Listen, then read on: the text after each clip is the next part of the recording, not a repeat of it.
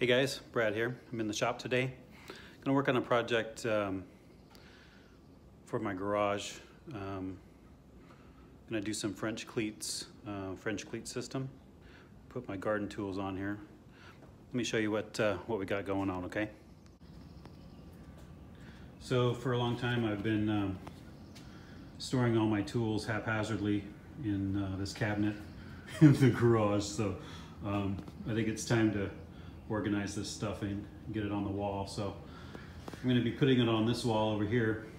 I'm gonna be cleaning this part up and uh, I'll probably put it right in between on the left, right side of this garbage can here and uh, closer, you know, by the uh, water heater there. I'm gonna leave that ladder there and if anybody out there knows what type of wood this is, I got this uh, live edge slab piece. It's kind of thin, but maybe I could do something with it.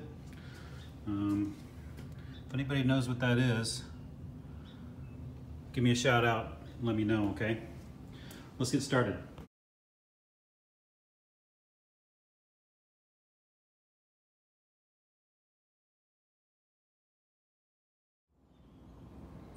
All right, so I got everything off the wall, kind of away from the space here, and uh,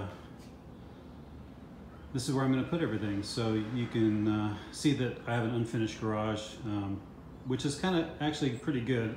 I can see where all the studs are going to be, so I can make sure that everything's secure when I bolt everything up.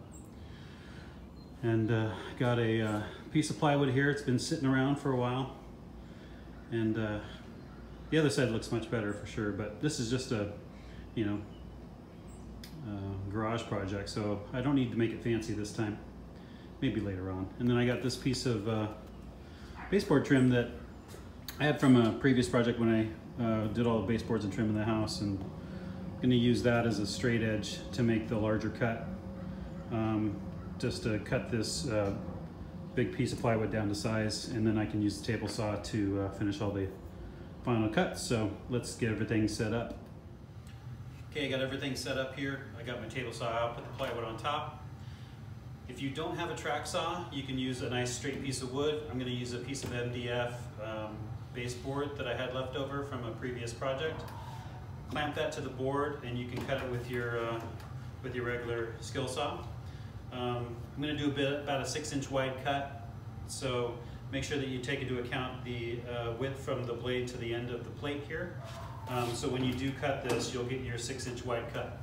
I'm gonna do about, uh, about six cuts or so uh, to get the lengths that I need to put on the wall. And then uh, once we get that done, uh, we'll put them on the wall and we'll start building all of our little modules to set on top.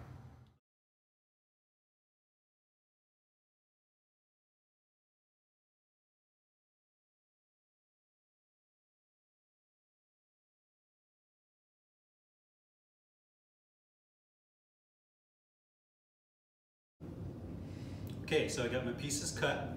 Um, I got six uh, pieces that are cut to six inch in width. What I'm gonna do with these is I'm gonna cut these uh, lengthwise at a 45 degree angle. And um, half of that will go up on the wall, the part that, that is angled in to the wall. And then the other half will be for the little module pieces. I'll cut those to, uh, to width. And then these ones are four inch long pieces. I cut about three of these. I might need one more. Is cut these uh, four inches square, and then I'm gonna cut them uh, at a diagonal to give me a triangular piece, and I'll notch that out. I'll screw those to the, the back pieces here, and then we'll get them uh, all sorted on the wall. So let's start doing that.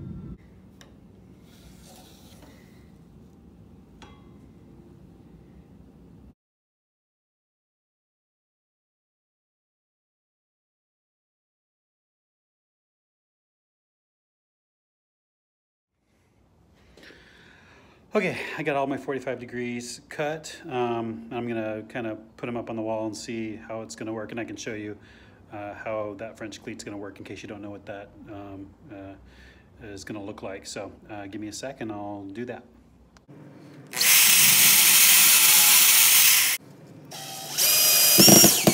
So I got all the cleats up, got two levels, boom, boom, boom, boom, boom, boom. and then I lined up all the tools. Um, just kind of give a basic layout of what I want to do.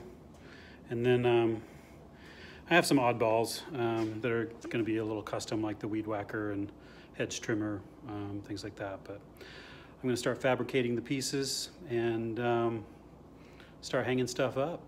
Fabrication next. I got the um, cleats all up and I did a mock-up of the uh, hanging, hanging system here for this. So if you take a look, got a shovel up there. Boop, boop. And uh, let me show you how this works. Take the shovel down. This just slides right in. So this is the 45 degree um, piece that I cut originally when I ripped the original pieces down. Just put some screws in the back. They're one and five eighths pre-drilled and countersunk, so I don't have anything going out uh, on the back end. And then the side pieces are uh, seven inches tall, and I cut a, a angle piece about an inch in and an inch down. And so that'll prevent the tools from sliding off the assembly and they just kind of sit in there. And uh, I made it flush with the bottom part here, uh, so the forces when something's on it, it's actually pushing against the this and it just gives it way more stability and won't yank it off the wall. So I got about 16 of these to make for all the tools that I got so far. I'm gonna have to do a couple of custom ones for the, uh, for the hedge trimmer and the weed whacker there and a couple of little odds and ends, but other than that, let's get to work.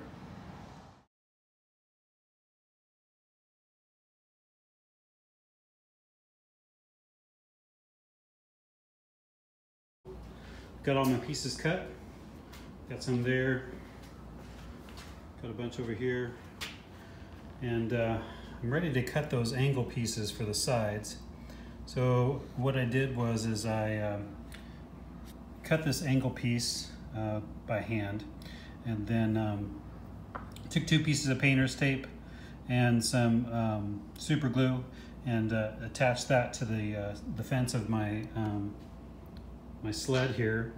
And then I, I got a piece of uh, a little stop block here. And so what's gonna happen is that that's gonna slide into there, just like that. And then I'll make the cuts. And uh, I should be able to whip through those pretty quick. I got everything cut. I just need to uh, pre-drill, uh, screw uh, some wood screws in there, and then we'll get them on the wall. Cool.